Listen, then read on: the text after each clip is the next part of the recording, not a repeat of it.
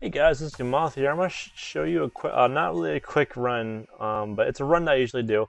So if you want the short version of my run, go to the archives of Zoltun Kulle, and then go to the left and right portion of the archives. These have a lot of champion packs in them, elite packs in them, a lot of chests and weapon racks to click. If you guys believe that those will also give you a higher chance of getting legendaries, um, I believe that monsters will give legendaries a lot more as a drop rate.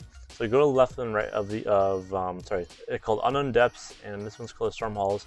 You don't have to go to the Realm of Shadow if you if you want to go for it. I don't really go there. There's a lot of shadows there, so if you want to try and do it, go for it. Um, after you do all of that, then go to the Sewers of Caldeum, finish off the Sewers of Caldeum, then go to the Path of Oasis, go to the Ruined Cistern here, finish all of this off, back out, then go to the Dahlgur, the, the Oasis, go all the way to the top right here, which is where the waterway is. You can kill the purple here if you really want to. Again, this is a short version of the, because the sewer in the ruins uh, templates, both of these environments yield an unnatural amount of packs and a, and a large amount of monster density.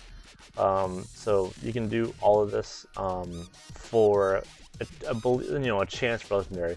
But yeah, go through Western Channel, go all all the way through to the Eastern Channel, then go through the Waterlogged Passage, and that is basically the short version of this run. The long version of this run is doing all of Act 2, and I probably recommend just starting the game or starting the quest at the beginning of the game and running it as quickly as possible.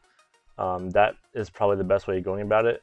And all, in my all honesty, I think going through the entire game is probably the, the best way for it, I guess, in a way. That way you don't see the same environment, you don't get bored or anything like that. But if you guys want, if you feel more, much more comfortable doing um, one run over and over again, uh, to reiterate, go to the archives, do it all, go to the sewers, go to the Path of Oasis, go backwards into the Ruined Cistern, do that, all that.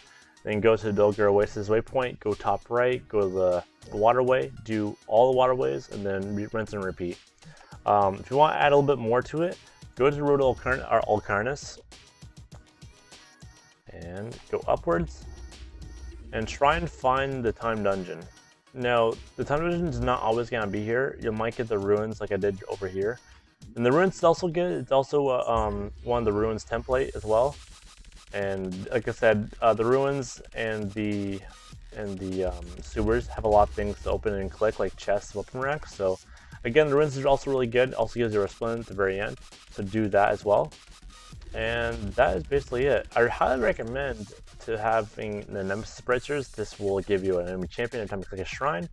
And this Act 2, I find personally, has a lot of shrines to uh, give.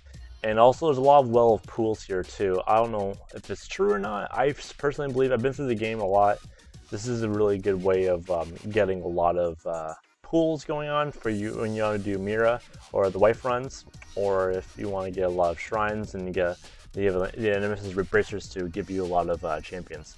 So again, this is all under the belief that champion mobs and monster density will give you legendaries. Again, there's also chests here as well that you can open. And as a fun fact as well, uh, the archives is something cool. The Storm Halls and the Unknown Depths have the Cursed Chest uh, uh, event in, in one of them. So if you guys want to do this and you have the Cursed Chest spawn, good for you. And that's also in addition to your, um, you know, to your uh, loot that you can disenchant whatnot. Now I have a this Barbarian has a, a whirlwind build on for it as well as sprint marathon. So if I, I, can go through this pretty quickly, I could probably do this in about 20 minutes, if not less. Uh, so if you guys want to give it a shot, go for it. Um, I recommend going quite fast at it with movement speed as well, alongside the Paragon points, kind of giving it into it. So this is my run. Hopefully you guys like it. Thank you for watching.